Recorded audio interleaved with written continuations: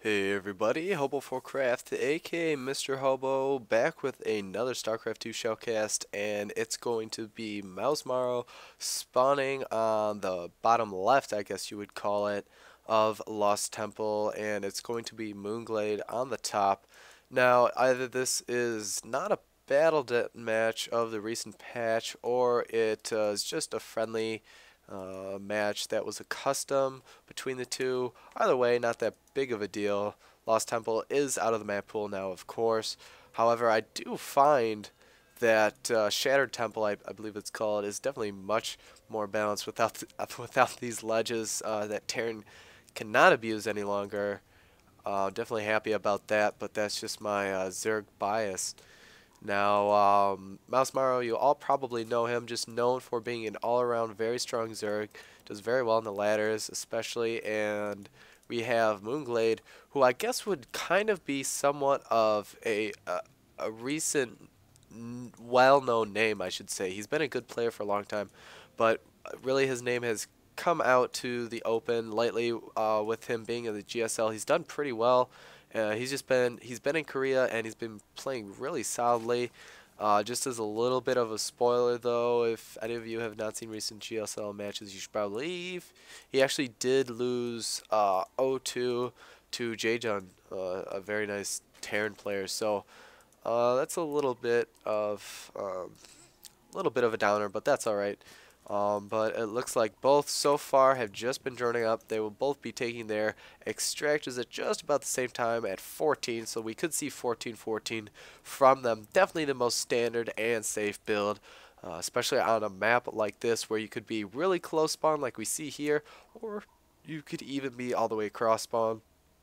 Either way, you can uh, be aggressive early on in the game, and then from there, contain your opponent, or at least try to, and then try to expo up uh, try to get an advantage that way, or just keep going uh, for that huge Zergling bust and try to maybe get that right combination of Zergling Baneling and try to win over with Micro against your opponent.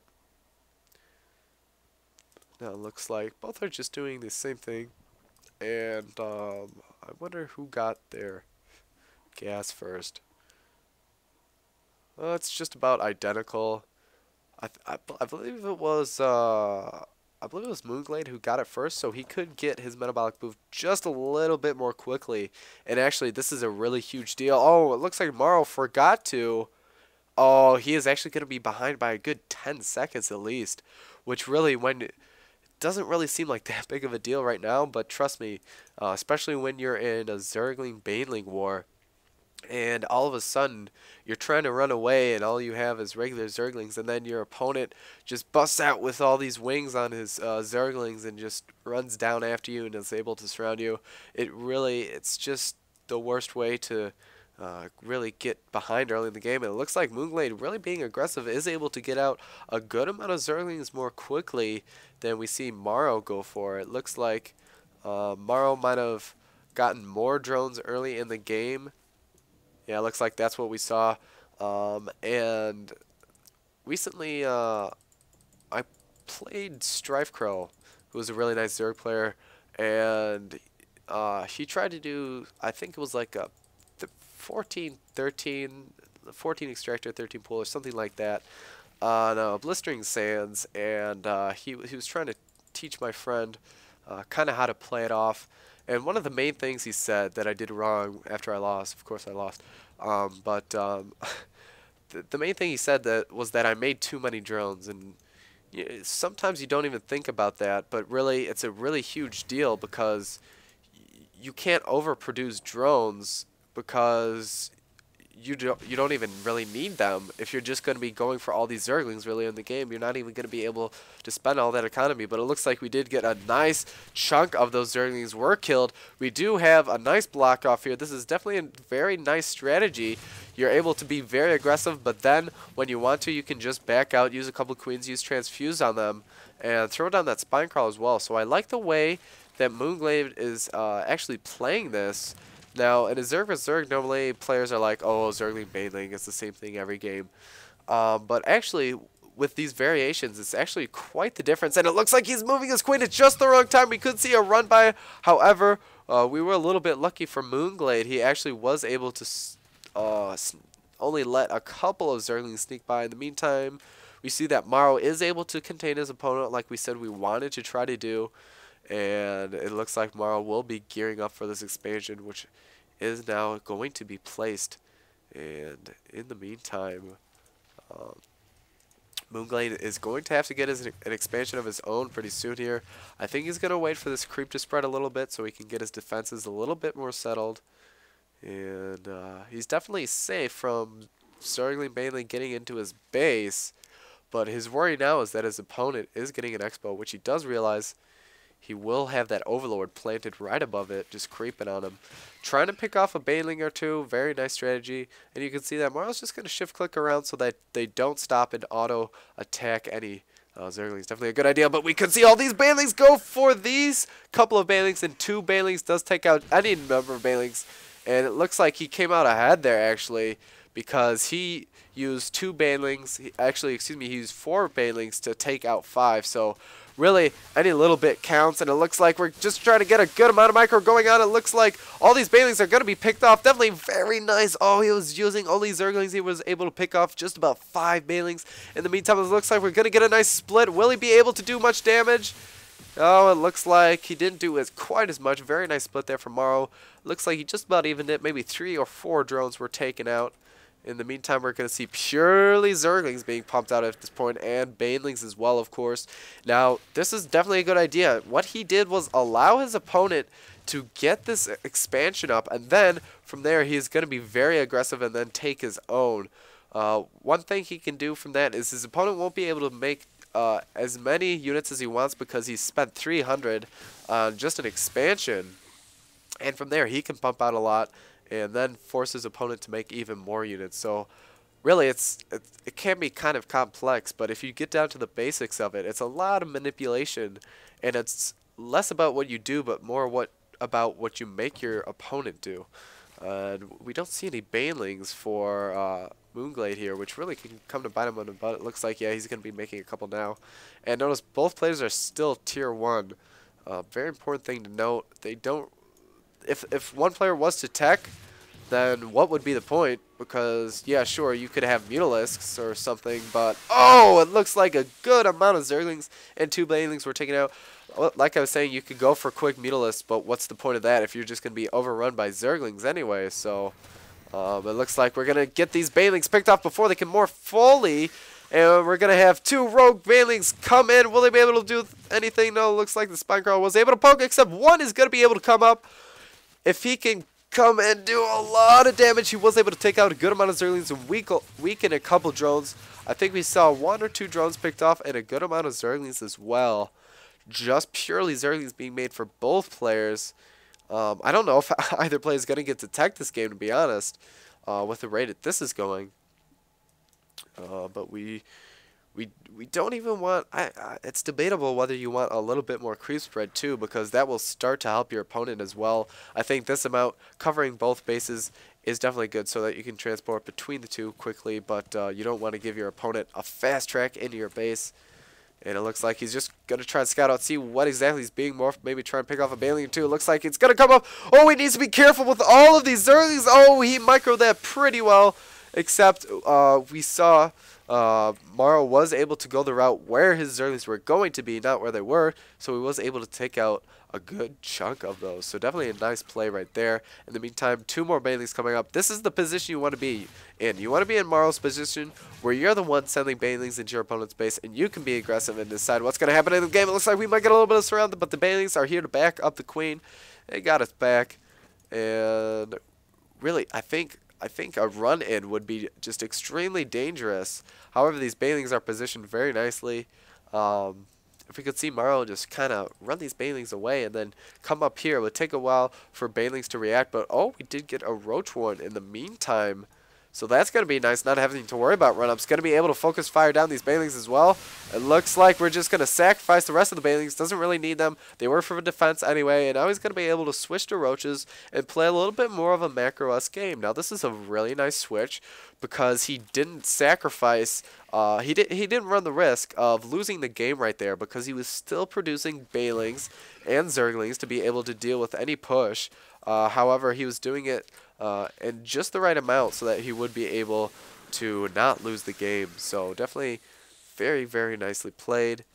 And just a lot of micro going on here. I think this is one of the most uh, micro-intensive types of play that you can have going on just because there's so much going on. We can see each player is averaging just about 200, uh, which is relatively high because uh, StarCraft 2 time, of course, is, uh, I think it's a third faster. So technically, um, the APM should be one and one third higher. So it should be around 270 for each player, which is really is pretty significant. For most most Warcraft 3 players uh, who are pros, um, it would be from 250 to 300 range.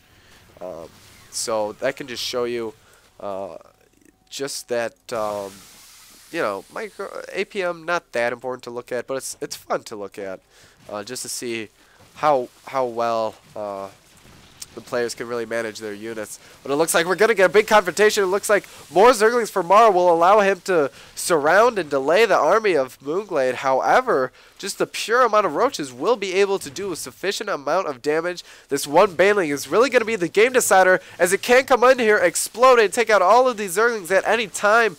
Oh, but it looks like that one roach was able to swing around and use that acid spit to take down that one baneling. Very nice play. And we can see that Zerglings and the right number can do a lot of damage to roaches. However, all these weak roaches are just going to waddle away. It looks like we're going to get reinforcements. Moonglade is going to be in a pretty good position here.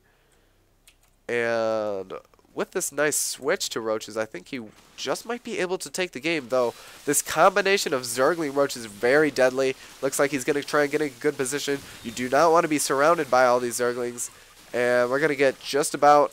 Oh, here come the reinforcements of the Zerglings. Definitely a very nice play. You can see that what Zerglings do is allow you to slow down your opponent because if he keeps running away, he will have to deal with all that damage from the Zerglings constantly poking at them. We're even going to get drones attacking at this point, and uh, if I were Moonglade, I would try to focus fire them down enough if I were going to lose a good amount of roaches. Now we do have four gas, so we should see, uh, we only see one Evo chamber. So I guess this these uh, four gas is pretty recent. They are all fully saturated, and normally you only get three when you're going roaches. You would go four if you're going to go double Evo, or if you're going to go Infestor. So he might do that as soon as he texts. Now we see that uh, Morrow is only running on two. Uh, he was only running on two gas, and he was really fine with pumping out this amount of roaches. So I mean, I don't really know how he spent all that gas, to be honest. Um, definitely interesting. In the meantime, oh my gosh, just a lot of roaches being pumped out. So just a complete turnaround, and we could even see infestors or maybe hydras being added to either player's uh, late game uh, composition here. And the only really thing, real thing that I, I don't like from Morrow so far is that he does have extra mana on his queen that he could use to plant a creep tumor or two. Looks like we got a nice little scout there, seeing everything that's going on. And we're going to have the advantage in upgrades from Moonglade because he did get that tier 2 more quickly and uh, because of that he's going to have roach speed which will allow for much better positioning. And we'll be able to run away and catch up tomorrow too. So the roach speed plays a huge factor. In the meantime uh, looks like he does have the upgrade advantage as well. So a timing attack right when the speed would finish would be definitely very very nice. However I think plus one attack just might be done for Morrow by that time. So it's going to be uh, a lot of timing that's going to have to be uh, taken into account, and this overseer going to be scouting around, wants to know everything that's going on. Uh, the player who gets the first overseer is really going to have the advantage because then he can set uh, the tech uh, for that game uh, as he can switch to whatever he wants based on what he sees. He can just uh, pump hard. Uh, whatever unit he's already producing. Could we see a contamination go down? He's just about to get 75, and he's going to use it on the evolution chamber definitely a very good idea. Most players would go for the hatchery. Um, the evolution chamber obviously stalls those upgrades a lot.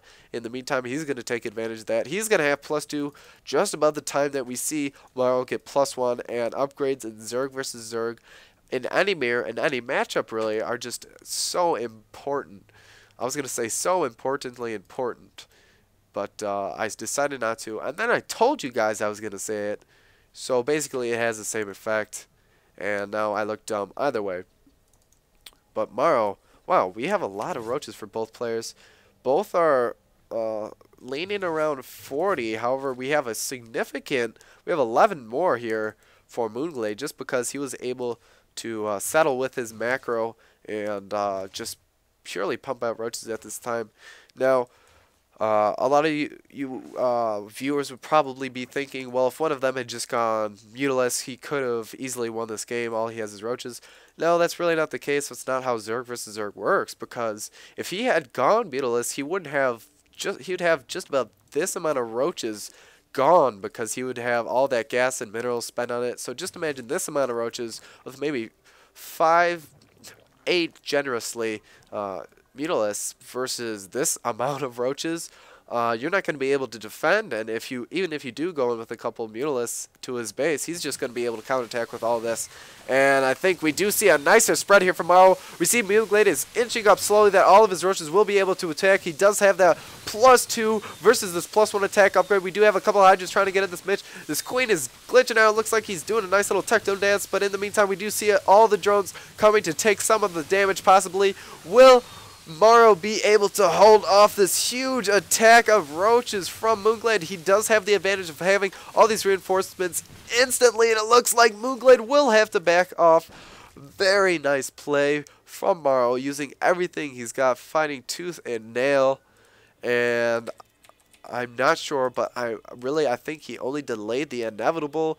He he's been on uh, the back foot for quite some time hasn't really been able to do much uh, uh, except just make as many units as possible. Now he's going to be have to making drones, and that's exactly what you don't want this late in the game as Zerg. You want to be able to make just units for the reason that we're about to see because Moonglade has been doing just that, getting a nice spread, lurking up again, getting as many units attacking as possible, using that uh, contamination very well. This is Queen just trying to get rid of these annoying overseers, and the amount of roaches I think is going to be too much this time, and we could even see a GG from Morrow pretty soon here, though it looks like he just may be able to be, uh, hold this off again.